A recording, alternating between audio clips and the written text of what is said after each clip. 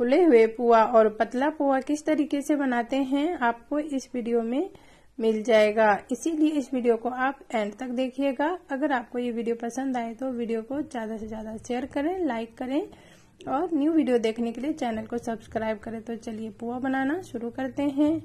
पुआ हम यहाँ पे मैदा से बना रहे हैं। आप चाहे तो इसे आटा से भी बना सकते हैं। एक बड़ी सी बर्तन लेंगे। अब उसमें दो कटोरी मैदा डालेंगे। उसी कटोरी से एक कटोरी हम बारीक वाला सूजी डालेंगे। अगर आपके पास मोटी वाली सूजी है तो उसे एक बार मिक्सी में चला लें। अब इसमें एक पिन जितना खाने वाला सोडा डाल देंगे।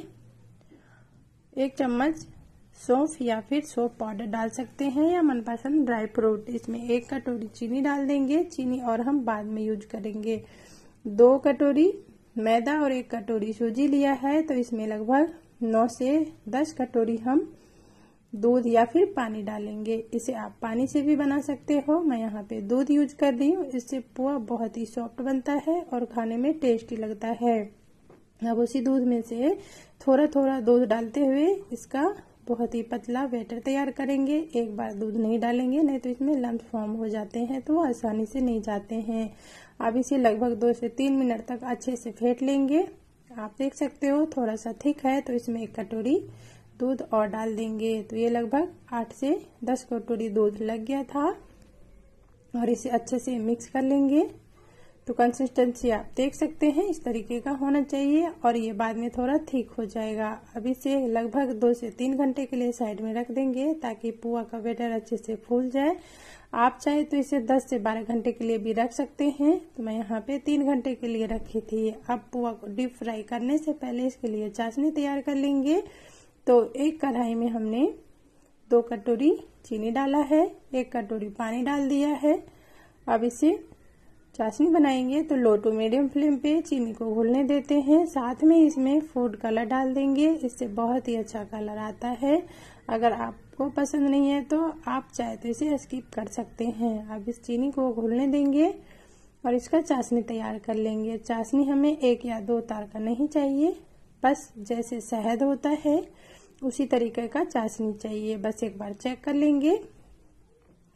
तो ये देखिए, बस चिपचिपा सा हो गया है। अब चाशनी हमारा तैयार है। अगर हम एक या दो तार का चाशनी बना लेंगे तो पुआ का अंदर चाशनी हमारा नहीं जाएगा। इसीलिए इस बात का ध्यान रखेंगे। अब चाशनी को साइड में रखते हैं। पुआ तलने के लिए यहाँ पे हमने एक कढ़ाई में रिफाइंड ऑयल लिया है। आप चाहे तो इसे घी में भी बना सकते हैं पुआ तलने के लिए। ऑयल को अच्छे से गर्म होने के लिए रख देंगे और इस बैटर को हम एक बार मिक्स कर लेंगे। लगभग कुछ सेकंड के लिए ज़्यादा देर नहीं मिक्स करेंगे, क्योंकि ये ज़्यादा देर फुला लिया हमने। आप देख सकते हैं ये कितना थिक है। तो इसे मिक्स करके पोआ तलेंगे। तो जब तक हमारा ऑयल गरम हो रहा है, अच्छे से ऑयल को गरम करेंगे, इसके बाद फ्लेम को मीडियम कर लेंगे, तभी पुआ हमारा अच्छे से फूल जाएगा। तो एक बार चेक कर लेते हैं, तेल हमारा अच्छे से गरम है। और वेटर को जैसे ही डाला, आप देख सकते हो, फटाक से ऊपर आ गया है। मीन्स हमारा पुआ का वेटर तैयार है। अब पुआ डालने का भी तरीका आनी चाहिए। मैंने इस तरीके से फैलाते हुए पुआ डाला है तो ये वाला पुआ नहीं फूलेगा। तो पोहा किस तरीके से डालते हैं कढ़ाई में, ये भी आपको आना चाहिए। अगर आपको डालने का तरीका पता नहीं होगा तो आपके पुआ इसी तरीके से बनेगा, फूलेगा नहीं। तो चलिए, किस तरीके से पुआ को डालते हैं, वो भी मैं आपको आपको दिखाती हूँ। तो इसे निकाल लेते हैं, फिर से ऑयल को अच्छे से गर्म होने देंगे, इसके बाद फ्लेम को मीडियम कर लेंगे। अब इसमें एक ही जगह पुआ का बेटर डालेंगे। अब आप देखना कितना अच्छे से ये पुआ फूल जाएगा। आप चाहे तो एक साथ दो से तीन पुआ भी बना सकते हैं। तो ये देखिए, पुआ हमारा फूल गया है। अब इसे पलट लेंगे। तो आप एक साथ दो से तीन भी बना सकते हो। तो एक पुआ तो आपके गोल बनेंगे और जो बचे हुए पुआ होगा उसकी सेप थोड़ी बिगड़ जाएगी। तो यहाँ पे हम होली में ज़्यादा क्वांटिटी में बनाते हैं। तो इसीलिए थोड़ी सी इस तरीके का कढ़ाई होना चाहिए ताकि एक एक साथ में तीन से चार पुआ आ सके। एक बार पुआ को डीप फ्राई करने में आपको पाँच से सात मिनट लग जाएगा। और इसे लो टू मीडियम फ्लेम पे डार्क गोल्डन होने तक पकने देंगे। ये पुआ पतला भी है और फुला हुआ भी बना है तो ये अंदर तक भी पक जाता है। मैदा थोड़ा लेट पकता है तो इसीलिए पाँच से सात मिनट तक लग जाएगा पुआ को डीप फ्राई करने में। तो आप देख सकते हो, पुआ हमारा डीप फ्राई हो गया है। तो इसी तरीके से हम सारे पुआ को फ्राई कर लेंगे। बस हमें पुआ को डालते टाइम बस ध्यान रखना है और जब भी हम पुआ का वेटर घोल के रखेंगे तो आप 10 से 12 घंटा या फिर 15 घंटा के लिए भी रख सकते हो। अगर जल्दीबाजी है तो दो घंटे में भी आप पुआ बना सकते हैं। तो इसी तरीके से फुला हुआ बनेगा।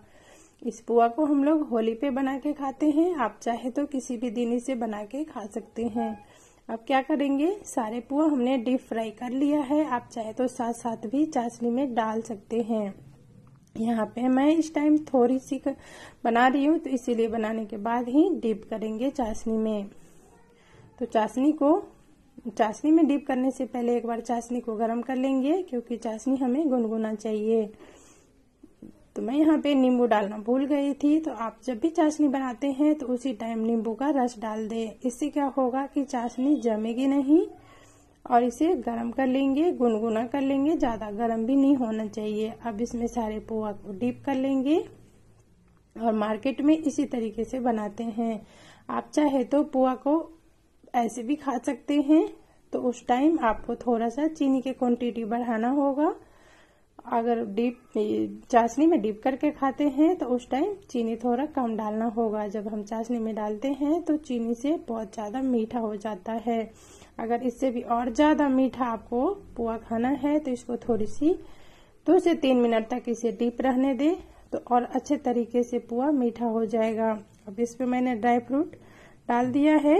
ये पुआ बहुत ही टेस्टी बना है। आपको ये वीडियो कैसी लगी, पसंद आए तो लाइक और ज़्यादा से ज़्यादा शेयर ज़रूर करें और कमेंट में बताएँ आपको वीडियो कैसी लगी और आपने जो पुआ बनाए थे, आपके कैसे बने थे।